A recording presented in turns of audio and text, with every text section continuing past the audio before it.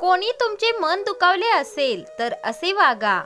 जर एखाद्याने आपले मन दुखावले अपमान केला तर आपण खूप चिडतो खूप रागावतो स्वतःला त्रास करून घेतो आणि मी या अपमानाचा बदला घेईन असेही म्हणतो. पण असे करू नका. रागाच्या भरात चुकीचे वागू नका. राग आपल्याला आंधळे बनवतो आणि त्यामुळे आपली विचार करण्याची ताकद पूर्णपणे संपुष्टात येते. कधी कधी जीवनात अशी परिस्थिती येते की लोकांनी तुमच्याबाबत केलेली चुकीची वागणूक आणि तुमचा अपमान याच्याकडे बरेचदा दुर्लक्ष केलेलेच बरे.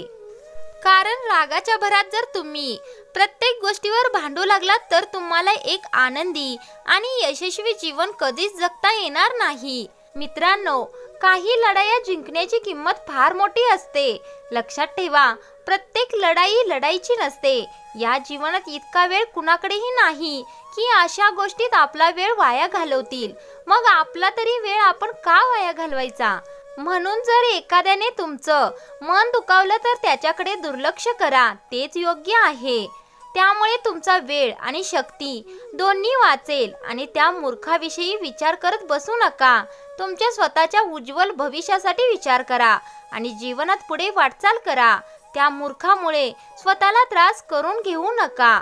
तुम्हाला अपमानाचा बदला घ्यायचाच असेल तर तुम्ही खूप मेहनत करून संयम ठेवून यश प्राप्त करा आणि त्यांना दाखवून द्या की आपण काय आहोत. आणि मित्रांनो अपमान करणाऱ्या मूर्ख लोकांना एक ना एक दिवस त्यांची चुकी नक्कीच कळणार. हा प्रेरणादायी व्हिडिओ तुम्हाला आवडला असेल तर व्हिडिओला एक लाईक नक्की करा. धन्यवाद.